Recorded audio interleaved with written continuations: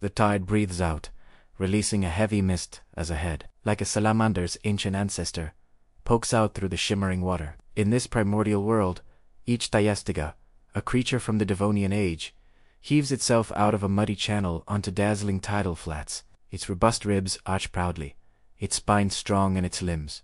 This isn't a story of a conquest over land. It's about a daily journey for survival. The warm shallows teem with tiny fish during the day, but at night, the water becomes starved of oxygen. Having lungs to supplement its gills is the difference between thriving and merely surviving. On solid ground, predators are few, but Ichthyostega's eggs still need water to survive. So, timing is everything. It can only spend minutes on the vulnerable mud, but can linger for hours in nearby pools. Its skull bones interlock, helping it resist the crushing burden of gravity as it explores. Its ears, attuned to low vibrations, begin to learn the new sounds of the land. Its eyes, once used for looking through the water, now gaze us upward, becoming aware of the vast, open sky and the potential dangers it holds.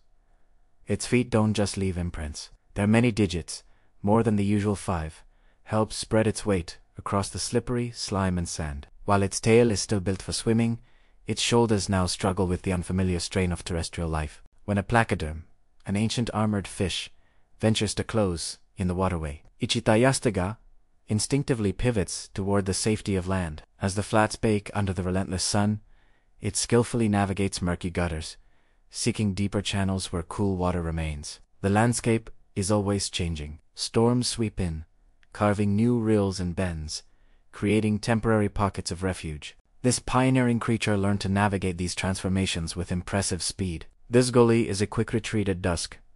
That fallen log is a second safe spot. It learned to avoid the menacing shadows of hunting birds, especially in the shallows.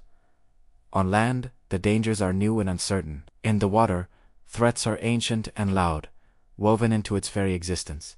Between these two realms lies a thin slice of territory that this early tetrapod navigates gingerly. Its precarious hold on both worlds, secured by scraped bellies, and lessons learned through trial and error. Picture a modern mudskipper wriggling up a bank. Now, imagine traveling back in time, to where legs are just prototypes and lungs are a welcome side project. Ultimately, this story isn't one of victory. It's about having options. It's about a spine evolving through the complexities of existence, learning that two worlds can be better than one, even if the other creatures in them don't care about its struggle.